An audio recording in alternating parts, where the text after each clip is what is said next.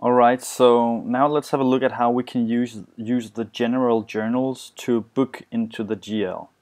So first let's uh, register some equity. Um, so the situation is that we, um, upon creating the company, um, the owners put in 10,000 pounds of uh, equity uh, into the bank account. So in order to record this transaction, you go to General Journals and uh, you can select the posting date. Uh, I'm just going to leave it for uh, whichever posting date it is. And um, then you choose in the account type, you choose GL account. And then the account number, you would choose your equity account, like this.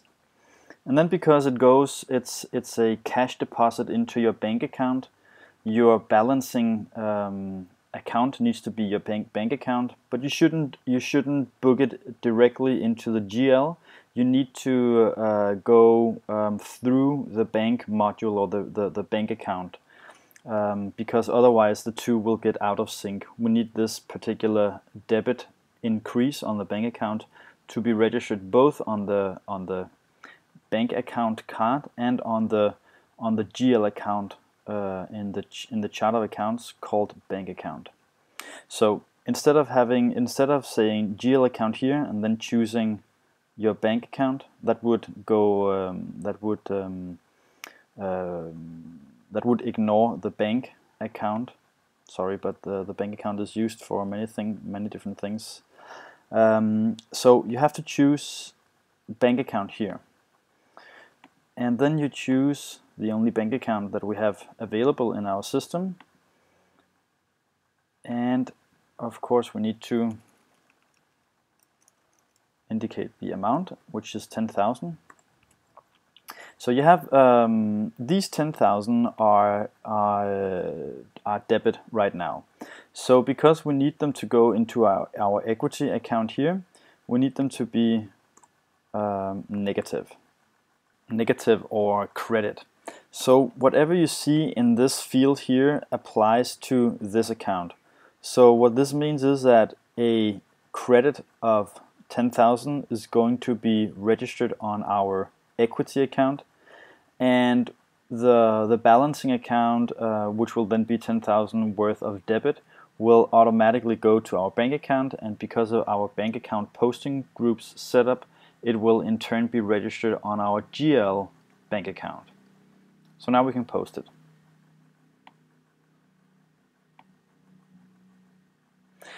So we just have to specify a document number. Uh, you can set up so that document numbers uh, come automatically, but for the for the sake of demonstrating, uh, it's just a check that needs to uh, uh, some content needs to be here. So we'll post it again and then it's gone through. So let's just go and have a look quickly at our chart of accounts and see how this has uh, this has affected our data. So firstly we can see now that uh, our GL bank account has been increased by 10,000. We have um, some equity here and we can also go to our bank bank account card here our HSBC and because we chose to post or balance uh, to a bank account we can now see the transaction also um, represented in the bank account ledger entries here so we have some uh, equity now here okay so the next situation is that uh, one of the owners wants to um, um, give two cars to the company so he doesn't want to give any cash uh, for shares or for and for part of the equity. He wants to give uh, two of his cars. So um, again, we will go to general journals here.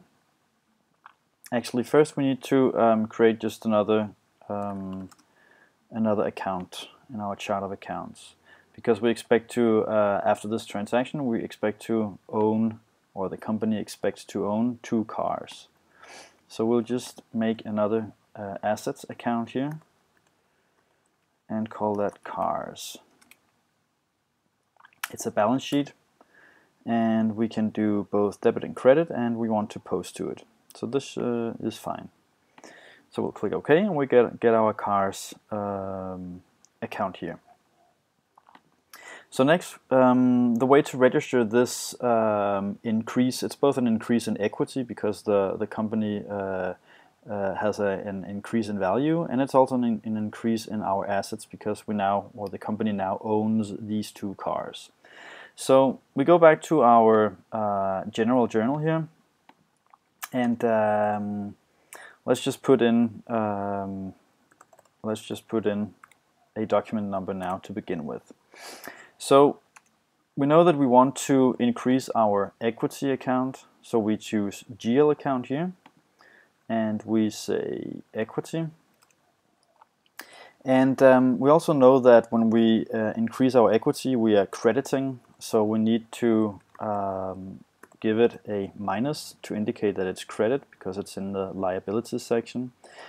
So before on the previous one that I showed you we would be using this balancing account but we actually have another choice which is to tap down one line.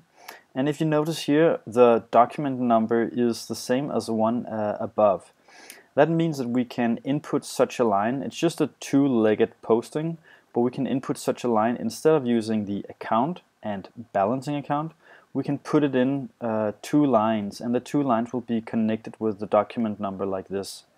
So up here we have indicated our equity which will be credited and in order to bring this journal uh, to a total of zero or make it balance we need to specify our cars um, account.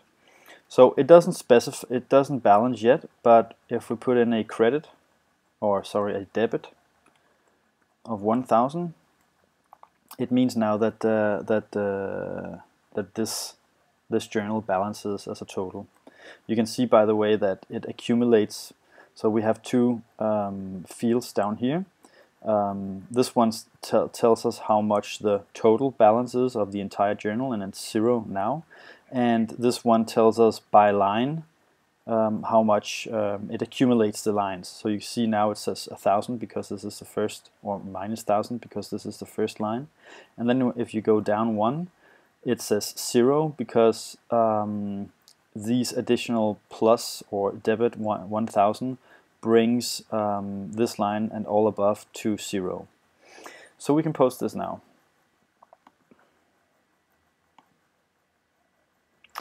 The lines were successfully posted if we had had chosen a different document number over here, it wouldn't have balanced and we weren't wouldn't have been able to post it. So let's just go and have a quick look at our chart of accounts again.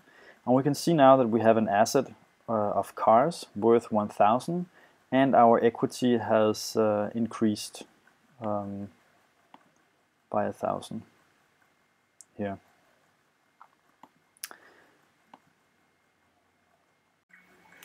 So the next thing that happens or the ne next transaction we want to do is a, a, scenario where our accountant comes along and says that we are not allowed to post uh, those two cars into the same GL account.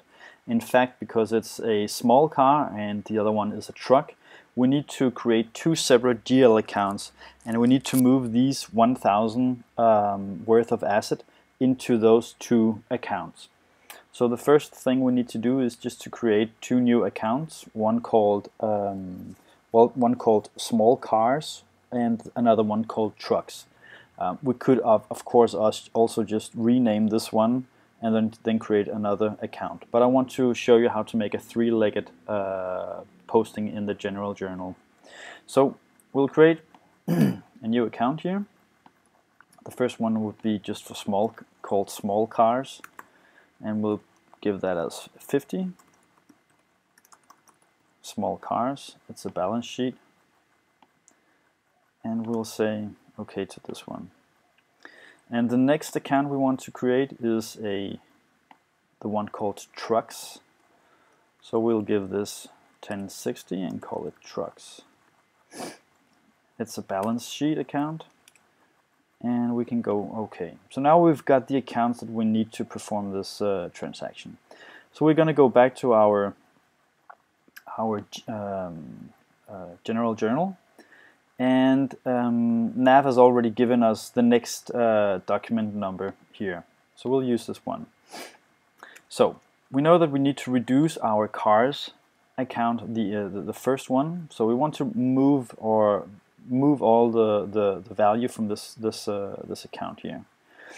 And currently, this th that account has um, a debit of 1,000, so we need to give it a credit of 1,000 to bring it down to zero. And then if we go down again, we'll see that once again the document number uh, inherits the one from above because it assumes that the next line will be um, paired with this one.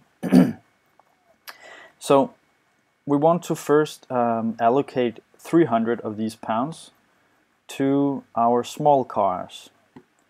So this is going to be a debit, so it's going to be positive, like this. And because this does this still doesn't balance the account, so that when so when we go down, uh, tap downwards, we will see that the journal document number is still um, uh, with a 2, ending at a 2. So we want to um, allocate the remaining 700 to our trucks account here and say 700 and then when we go down nav automatically um, has calculated that the three first um, lines here they balance um, like this so it assumes that the next line we want to input is going to be a separate uh, posting. But for the, for the moment we don't want to uh, make any more. So we will try to post this one. And it says that it's been posted, so that's fine. and then we can go to our chart of accounts and see what's happened.